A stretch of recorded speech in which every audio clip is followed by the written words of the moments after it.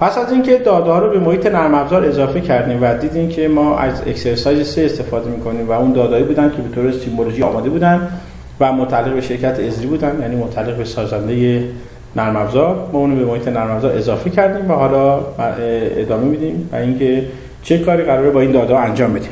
خب وقتی که network رو اضافه کردیم اگه یادتون باشه به customize رفتیم extension رفتیم check box رو زدیم که فعال شد. و بعد از که فعال شد حالا بعد از که دادا اضافه کردیم و گفتیم که الان ما با street network dataset داریم استفاده می‌کنیم و این قبلا ساخته شده.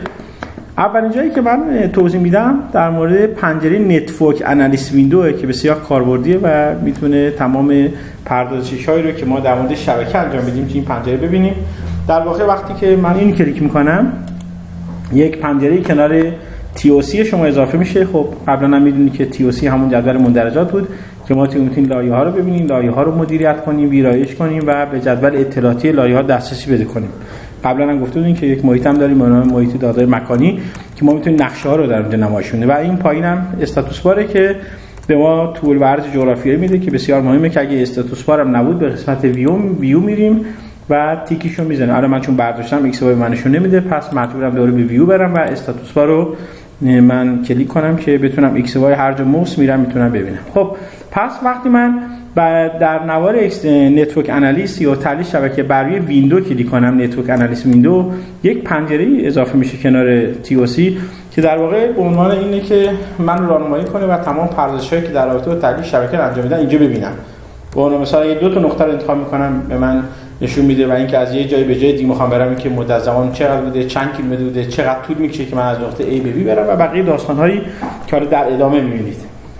اولین قسمتی که من می‌خوام به شما توضیح بدم اینه که network رو باز می‌کنم. یعنی وقتی که من منوی network رو باز کنم خب حس دستورات هست که قرار همه اینا رو من به شما توضیح بدم که بسیار کاربردی هستم. خب ابتدا new route انتخاب می‌کنم یا مسیر جدید. وقتی من new route استفاده کنم می‌بینید که پنجره network analyst پر شد. یه سری آیکون ها یه سری عبارت ها اومد و یک پنجره تی هم غیر از دادایی که بود تغییر کرد و اطلاعات مربوط به شبکه آورد خیلی مهمه و می‌تونه به ما کمک کنه.